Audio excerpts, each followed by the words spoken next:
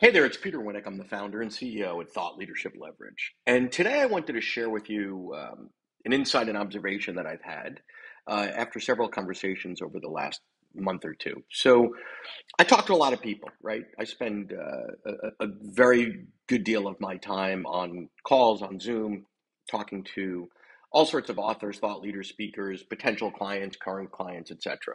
And uh, you know, one of the things I'll I'll ask them is, okay, give, give me a sense of of your work, what you do, how you do it, etc. And a lot of times, I, I I'm kind of shocked at the answers that I'm getting, and and they're they're convoluted, they're cloudy, they're fuzzy, they're not focused, and and oftentimes I'll say, okay, um, ex- exactly who pays you to do what? Who's hiring you? To solve what problem.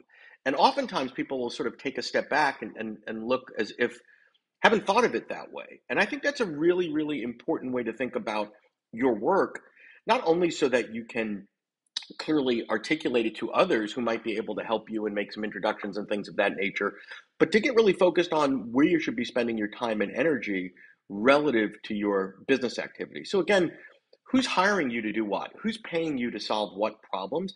It really, uh, that's what it comes down to. So, anyway, if you're not answering that question consistently and clearly and tightly, I'd suggest you sort of spend a little bit of time on that. Love to hear your thoughts. Thank you.